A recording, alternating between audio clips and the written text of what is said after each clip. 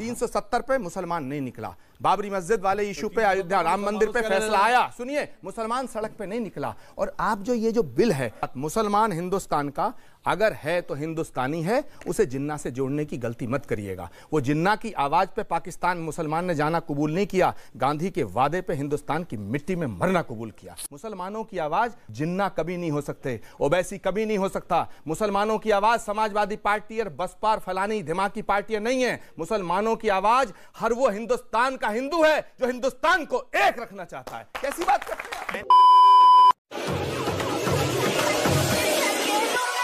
देखिए, बड़ी ज़िम्मेदारी से मैं बात को खत्म करते, अपना कंक्लूड करने से पहले एक बात करना चाह रहा हूँ। संबित पात्रा जी, सुधांशु जी, बात को सुनिए, समझिए। देश में सरकार आपकी है, ताकतवर सरकार है। 370 आपने हटाई, मैंने वेलकम किया। मैंने वेलकम किया, हमने वेलकम किया। कुछ लोग हैं जो उसके विरोध में थे, लेकिन हम लोग वेलकम किए। आप अच्छा काम करेंगे, हम आपकी तारीफ़ करेंगे। आपने मंदिर नहीं बनाया मंदिर सुप्रीम कोर्ट की वजह से बन रहा है वादा आपने किया था लेकिन बन रहा है हम उसका स्वागत करते हैं ठीक है? तीसरी बात तीसरी बात मुसलमान हिंदुस्तान का अगर है तो हिंदुस्तानी है उसे जिन्ना से जोड़ने की गलती मत करिएगा। वो जिन्ना की आवाज़ पे पाकिस्तान मुसलमान ने जाना कबूल नहीं किया गांधी के वादे पे हिंदुस्तान की मिट्टी में मरना कबूल किया। सब अगर गलती जिन्ना ने की तो सुनिए।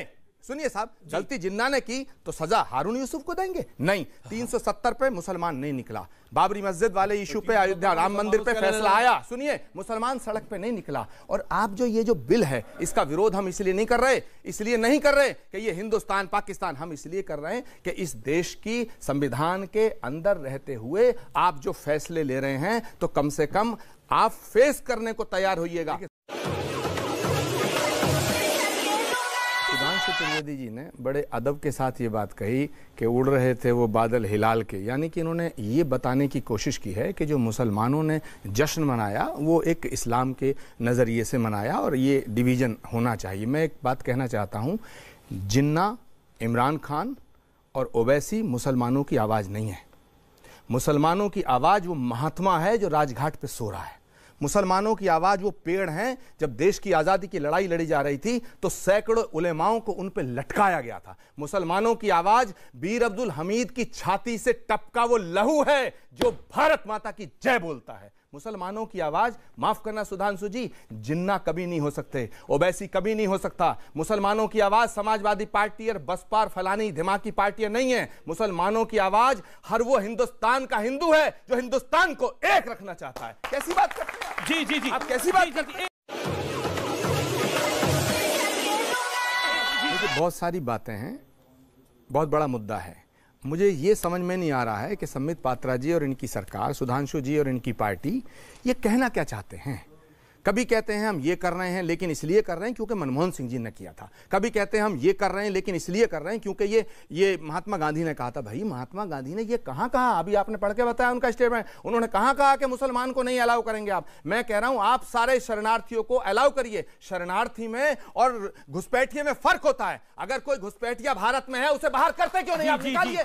आप घुसपैठिए बाहर नहीं निकालते ना। आप घुसपैठिए नहीं निकालते। आप डिवीज़न करना चाहते हैं। मैं कहना चाहता हूँ संबित जी कि आप क्या कहना चाह रहे हैं कि धर्म के नाम पे डिवीज़न कर रहे हैं ये लोग? एब्सोल्युटली और मैं कहना चाहता हूँ मैं कहना चाहता हूँ ये धर्म के नाम पे डिवीज़न करके अपनी सत्ता बरकरार करना चाहते हैं हिंदुओं को भी मूर्ख बनाना चाहते हैं। ये एक मुसलमान को एक घुसपैठियों को जिस दिन बाहर कर दें आप बता देना ये तो बैकफुट पे आए पड़े अगर झारखंड जीत जाते तो ये फिर ताने मारते हम ये करेंगे हम वो करेंगे हम ये करेंगे। आज कल से सफ़ाई देते घूम रहे हैं कल से सफ़ाई देते घूम रहे हैं। और हम इस देवगन मेरी बात सुनिए खत्म करने से पहले कि हमको बांट करके हुकूमत करने की हसरत बड़ी मुश्किल से निकलेगी कलेजा चीर देगी जो बदुआ दिल से निकलेगी। हिंदुस्तान को मत बांटिए जी, हिंदुस्तान को मत बांटिए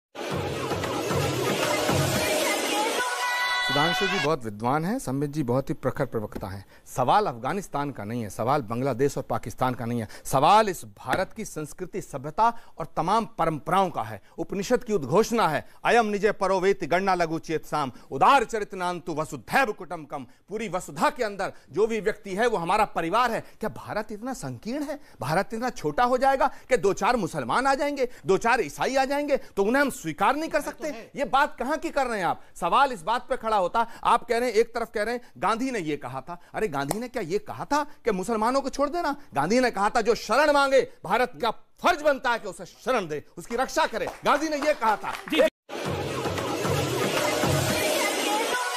हाँ, को देवगन दूसरी बात मैं बड़े मैं बड़े सम्मान के साथ पूछ रहा हूँ।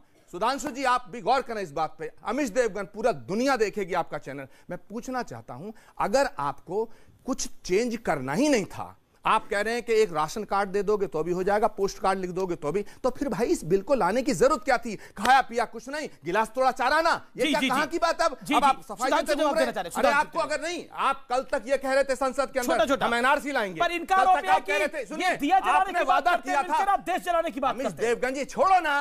देश ये देश जलाने की बात हम कर रहे हैं। हम कर रहे हैं। कैसी बात करते हैं? ये बोला, आरोप लगा की बात हम नहीं कर रहे। सुनिए देश जलाने की बात और देश को बचाने की बात। माफ़ करना इस देश का बच्चा बच्चा देशभक्त है देशद्रोही नहीं है। जी, नियत को बदलो दृष्टिकोण को बदलो नज़रिए को बदलो नज़रिए को बदलो। ठीक है सुधांशु त्रिवेदी मुझे इस देश में कोई देशद्रोही नज़र नहीं आता।